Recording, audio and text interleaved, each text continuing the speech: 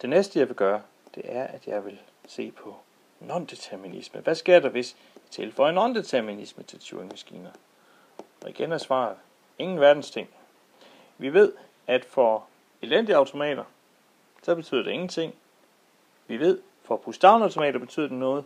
Øh, non-deterministiske automater er skarpt stærkere end deterministiske pushdown-automater, men her betyder det ingenting. Hvad er nondeterminisme for noget i den her sammenhæng? Jo, øh, i en deterministisk Turing-maskine, der vil det være sådan en overføringsfunktion, siger, givet en tilstand, og et tegn, vi kigger på, jamen så går i en ny tilstand er, erstat det her tegn A med tegn B, og så går i en retning, som kunne være mod venstre.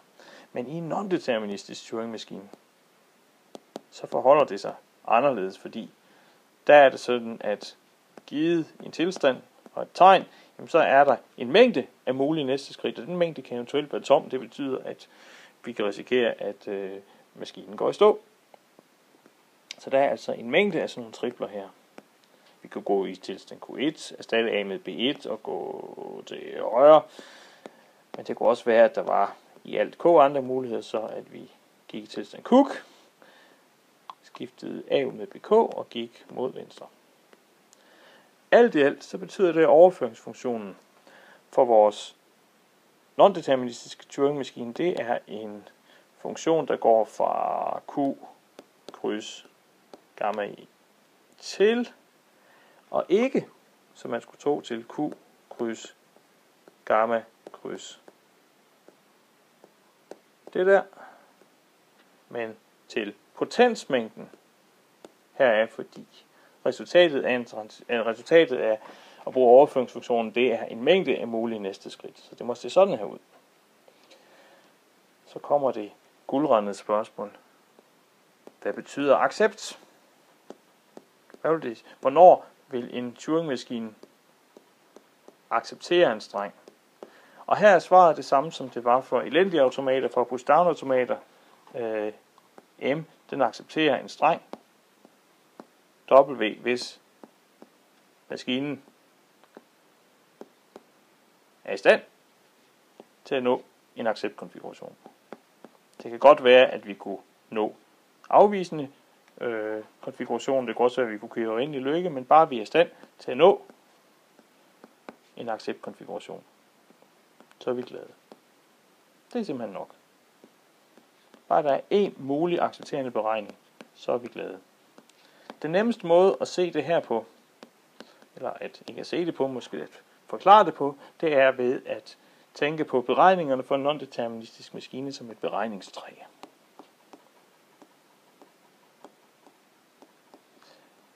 Og i beregningstræet, der er knuderne. Det er konfigurationer. Prøv at tegne sådan et træ. Her er en knude. Det kunne være vores startkonfiguration, den kalder vi C. Og så kunne vi have øh, nogle børn den knude. Det kunne være, der var tre mulige der, Så vi kunne kalde henholdsvis barn nummer 1, barn nummer 2, barn nummer 3. Disse her kanter betegner et enkelt skridt. Disse børnekonfigurationer kunne så hver, hver især have nogle børn også måske. Det kunne være, at den her den havde to. det kunne være, den her den havde tre. Det kunne være, den her havde kun havde en. Sådan, ups, det var ikke meningen. Sådan, sådan, sådan, sådan, sådan, sådan. Og den her ville så hedde, den kunne hedde C1, 1. Den kunne hedde C1, 2. Det her kunne så hedde C21 Og C22 og C23. henholdsvis. Den her kunne hedde C31. Altså første barn er tredje barn, tredje barn er andet barn, andet barn af andet barn, og så fremdeles. Vi kunne forestille os det her træ bliver ret stort. Det kunne være, at her havde vi en uendelig følge af konfigurationer. Det kunne være, at et andet sted i beregningstræet, måske her, var en beregning, der sluttede her. Det var i det kunne sige, det var den eneste barn, den hed så C, øh, C1, 2, 1, og det kunne være, at det var en afvisende konfiguration, vi havnede i. Og det kunne være, at øh, den her i sig selv var en accepterende konfiguration. Og vores accept-kriterium for en non-deterministisk maskine siger, at bare der findes i hvert fald en vej i beregningstræet, der ender i en accept-konfiguration, så vil vores input blive accepteret. Godt. Den sætning, som så gælder, sætning 2, det er, at øh, hvis et sprog L kan genkendes af en non-deterministisk Turing-maskine, non-deterministisk Turing-maskine M, så kan L genkendes af en sædvanlig Turing-maskine. Genkendes af en sædvanlig Turing-maskine.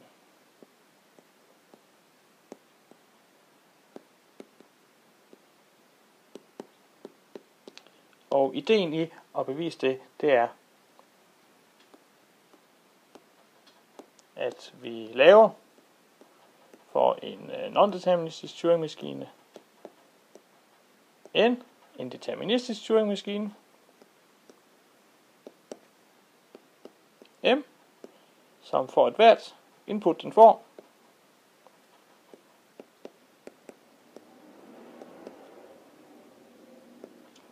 gennemvandrer beregningstræet.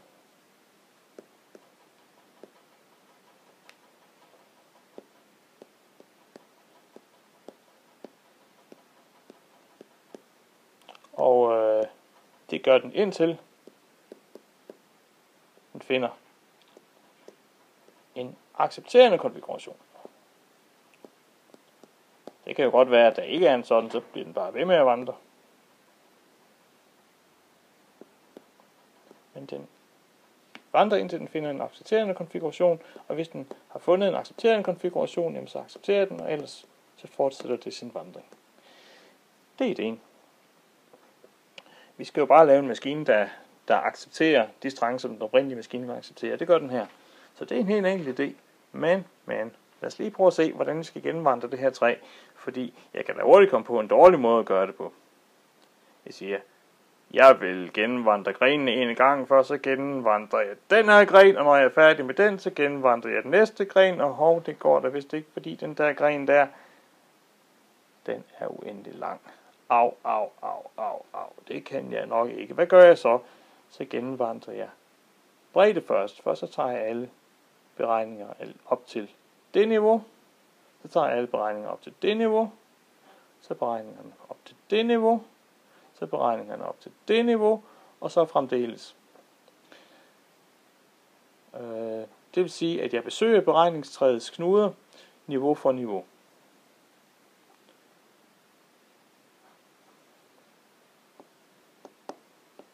Vi skal simpelthen gennemvandre.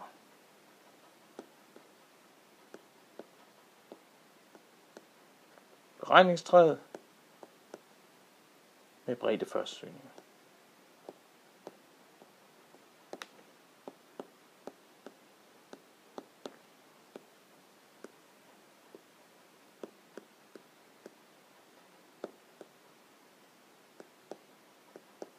Og hvordan gør vi så det?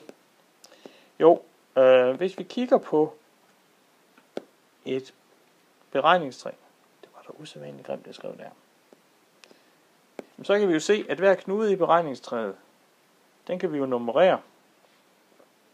Hvis vi kigger på det her beregningstræ, vi har her, så kan vi se den her knude for eksempel. Den hedder 1, 2, 1. Det er knuden, vi fik ved at gå den vej her. Første valg her, andet valg her, første valg her. Så hver eneste knude er karakteriseret ved sådan en følge af, af indeks. Hvis vi højst har k mulige valg, så er det øh, en indeks, det er en følge af, af, af en følge af tegn, hvor hvert tegn det ligger mellem 1 og k. Tallene fra 1 til k. Så det er det. Så hver sti, det er ikke nødvendigvis en fuldstændig sti, i træet, det svarer til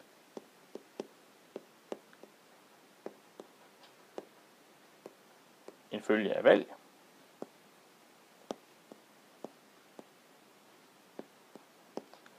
Hvis der højst kan være k-valg,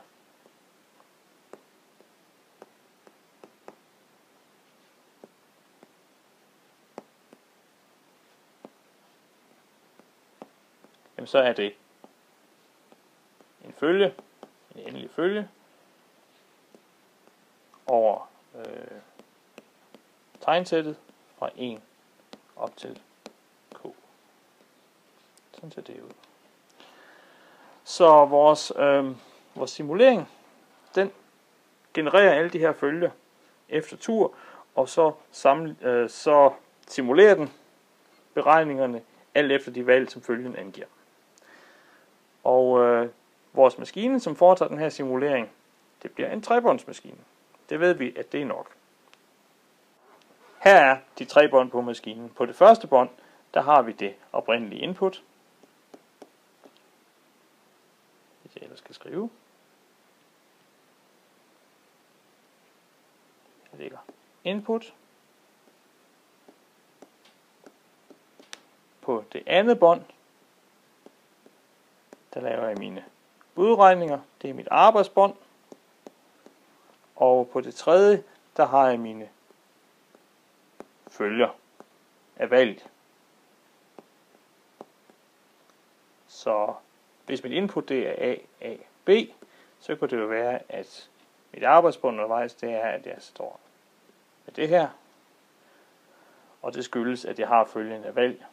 Først træffer jeg første valg, så træffer jeg andet valg, så træffer jeg første mulige valg derefter. Så øhm, sådan ser et øjebliksbillede af simuleringen, så kunne det se ud. Øh, simuleringen, den er som følger. På input W, så kører jeg en stor lykke.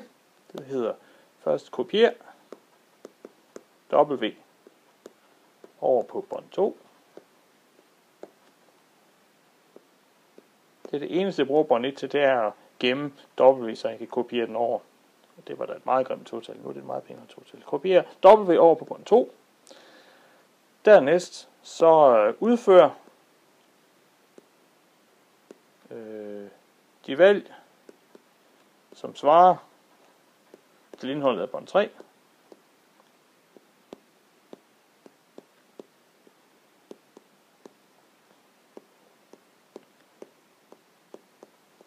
Dernæst, hvad gør jeg så? Så siger jeg, øh, hvis dette fører til accept,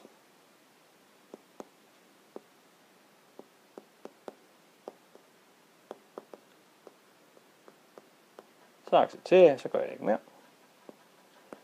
Ellers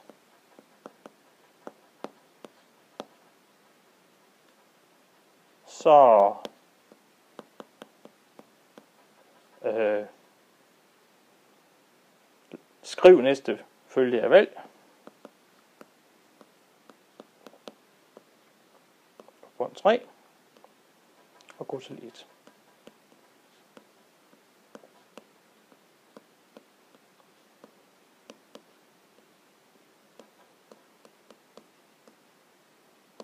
Så det er ideen. At jeg gennemløber hver eneste mulige følge af vand, og øh, for hver følge valg, så udfører jeg den dertil svarende beregning, og hvis jeg på et tidspunkt når til at accept så stopper jeg. Og det er, hvad øh, min simulering af en non maskine gør.